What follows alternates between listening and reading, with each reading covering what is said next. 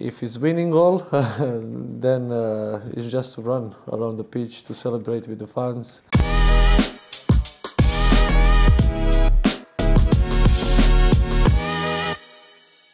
Let's have a talk about the goal celebrations. Is that something spontaneous or is it planned ahead? No, I've had, I've had a few that were planned um, beforehand, but usually it's just off the cuff. I don't score that, that many goals, but uh, so I don't I don't plan uh, my, my celebration. But when I when I do, it's spontaneous. I think.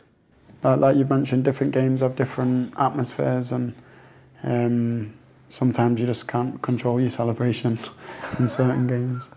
I think often it's you know if they're a proven goal scorer, they tend to have a celebration. If it's a if it's someone that's probably a little bit surprised to score. Um, you know, they, they're a bit more spontaneous, probably a little bit more excitement. Um, so it's just that elation, that, that immediate elation. That's what football's all about, that, that spontaneous passion coming out, players and fans alike. What feeling is better, scoring yourself or delivering the perfect assist? I think when you score a goal, it's always special, of course. But uh, also because I play in the midfield, when when I, I assist, I think is almost the same feeling. But when you score, I think is the best. For me, scoring. um, I think for, for most forwards, it's scoring, but it's it's also great when you score a good team goal or, or like you said, a, a good cross and someone scores. As long as it results in three points, I don't I don't really I don't really care. And what's the first conscious thought after the excitement of scoring a goal? Depends what the score is. If it's winning goal, then uh, it's just to run around the pitch to celebrate with the fans. You you enjoy it, but then you just want to score again. So it's um it's a short-lived celebration.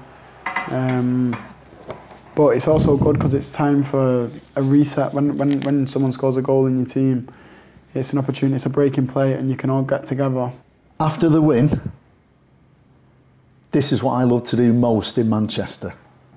in Manchester. Depends on how hard the game was. If it was a really hard game, I'll probably just chill at home, maybe take my dogs on a walk.